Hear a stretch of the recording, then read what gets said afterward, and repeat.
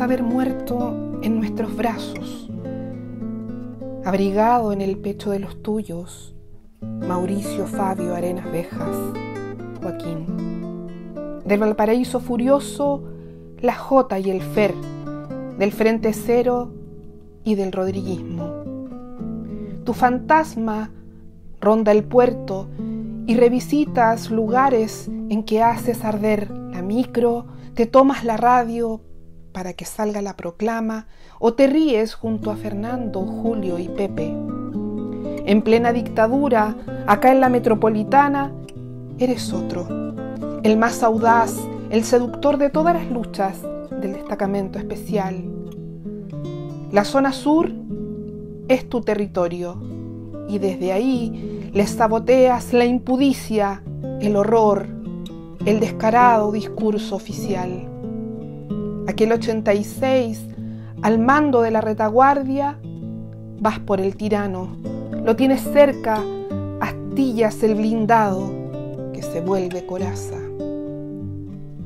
Clandestino acomodas la rutina, cuentas los pasos, haces el gesto, convocas los puntos e igual te rodean. Así describes tu accidente de trabajo. Tú trotas, ellos trotan, tú corres, ellos también. Tienes certeza de la muerte, pero antes rompes tu reloj para no dejarlo como trofeo. Te comes los papelitos que guardan tus secretos y cargas una y otra vez la herramienta que empuñas. Moribundo eres interrogado, torturado, con siete tiros en el cuerpo, resistes. Vives la prisión junto a tus hermanos hasta que un túnel ajeno te asoma la libertad aquel 30 de enero del 90. Ya libre, la fuerza especial del frente es tu nuevo lugar y con ella algo de justicia llega. Pero demasiado pronto el cigarrillo hace lo suyo en tu cuerpo cansado y te enfrentas a la otra muerte. Deberías haber muerto en nuestros brazos, Joaquín. A 30 años de aquel 12 de octubre de 1991, no estás solo. Estás en nosotros en la cansada porfía, en la primavera, en el indómito cabalgar de la libertad. Lobo hermoso, siempre fuiste canción.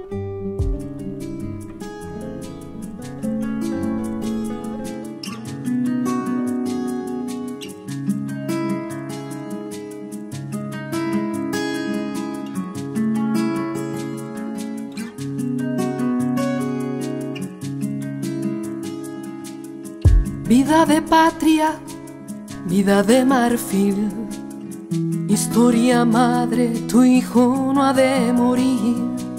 Vida primavera, vida migajas, razón anciana, reparte la esperanza.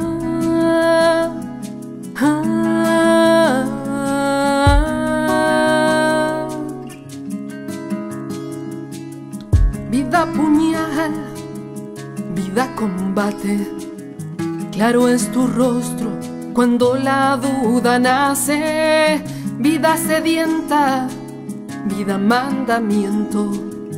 Llegó la hora de este destino hambriento.